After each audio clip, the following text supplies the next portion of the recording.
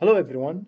Today I'm gonna show you how to download mods for Hearts of Iron 4, specifically the Millennium Dawn mod, because I heard so many people that face problems with this specific mod, the Millennium Dawn mod, uh, especially for the free version of the game, the version that doesn't require Steam or the Paradox Workshop. So in this video I'm gonna help you to download the mod, the latest version of the mod, to the Hearts of Iron 4 game. Okay. So, first of all, we go to the Chrome. Okay. We go to, uh, now we have two mod sites for this one. The first one is Top Mods. Top Mods 24. You can, I will uh, put a link in the description. And the second one is Sky Mods. Sky Mods 24. Um, although it is Russian, but uh, no offense, it is good, yeah. I'm just kidding. I love uh, Russians. Anyways. So uh, both of these sites you can use to download any mod. Um, to be honest, I prefer top mods because uh, it will get updated faster here. Like once the mod is updated, you'll find it here as uh, as soon as it is updated, faster than this one. So we go to top mods and we click Millennium Dawn. Okay. This is the mod. This is Millennium Dawn mod. We click on it, you can find that this is the latest version of this mod. Uh, it is updated, I don't know what is updated. Um, 13th of March. I think it is the last, the last update. Yeah, so anyways, we go down to this one. We wait until it finishes. So, uh, these sites I usually use just for the, the free version of the game. Don't use if you have Steam or uh, the official game. Don't use, you don't have to use that. You can just download it from Steam. But this video is just for the people who can't get the game from Steam. The poor people, just like me. yeah, so anyways, we go to download. Okay. We click generate link. Download link, download and we finish until the we, we, finish. We wait until the download is finished. So because I already have the mod downloaded, I'll just cancel it and go straight to my files. Here it is. This is the file that will be downloaded. It will be compressed, so you'll need to unzip it. Click extract all and click extract. I'll not click because I already have it. So once you click extract, another file will show up, this one, the unzipped file. So you go in here now, this is where the, the trick comes in. This is where most people face issue with. Now, most mods, when you download it, you'll get two files. Like the file folder will have numbers on it, and the mod folder also, mod folder also has numbers on it. But in the Millennium Dawn mode case, you have the the the name. You don't have numbers here, so it is okay, no problem. No, you are you you you are following the steps correctly. Don't worry about it. Uh, about this mod, just forget it. Forget about this file. We need to copy only these two files. Okay. Now we go to documents. We go to Paradox Interactive.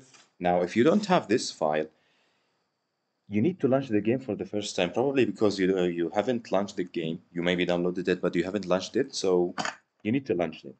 Launch it. Okay. Yeah. So we go to Paradox Interactive, of Iron 4. Now here, we need to create two files.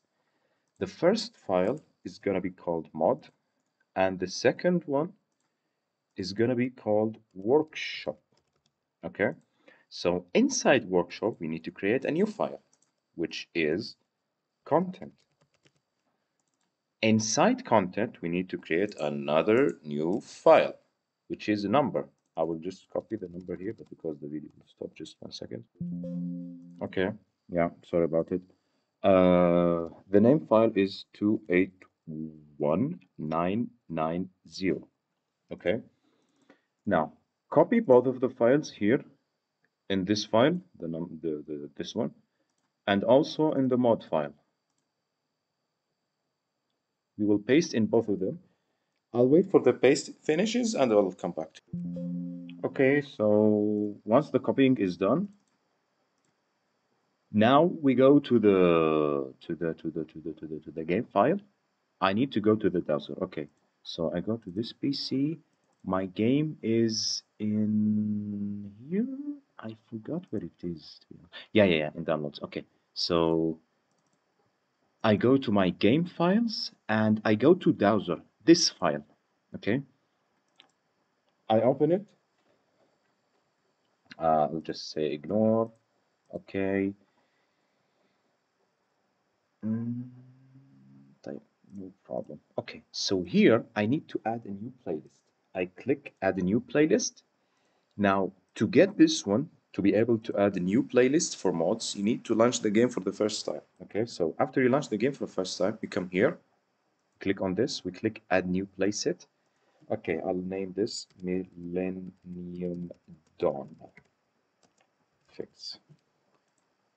I'll click create and here I will click add mods. This is the modern day mod, the Millennium Dawn. I will click on it and click add to playset. Okay. Now, this playset here is the Millennium Dawn one. If I want the no mods one, I'll just click on this one. If I want the Millennium Dawn again, I'll just click on this one. If I want to create another one, just add a new playset. Okay, and I'll click play and see how this goes.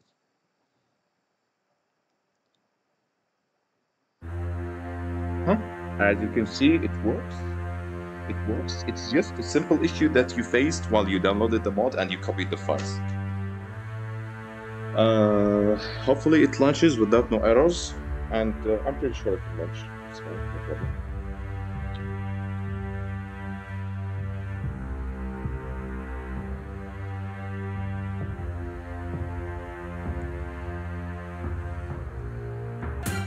Okay, so the mod is the mod is launching fine, no problem.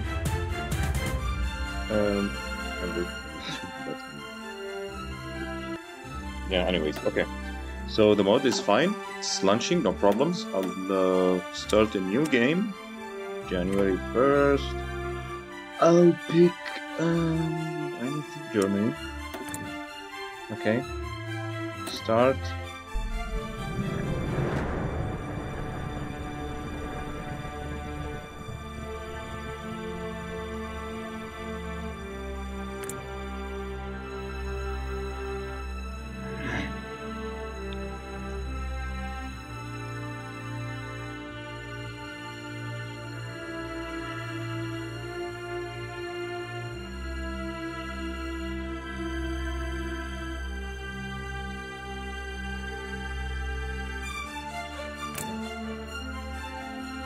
And it's working right. fine. Everything is working fine, and uh, yeah, this is how you fix the issue for the Millennium Dawn mod for the free version of Hearts of Iron 4. If you face any other issue, if you want me to upload any video of any kind for Hearts of Iron or whatever, uh, let me know in the comments and uh, I'll be happy to upload it and uh, I'll see you soon. Thank you.